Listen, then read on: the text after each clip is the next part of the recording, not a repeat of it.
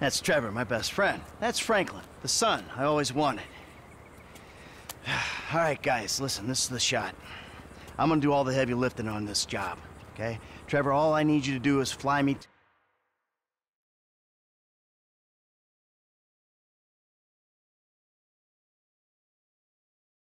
the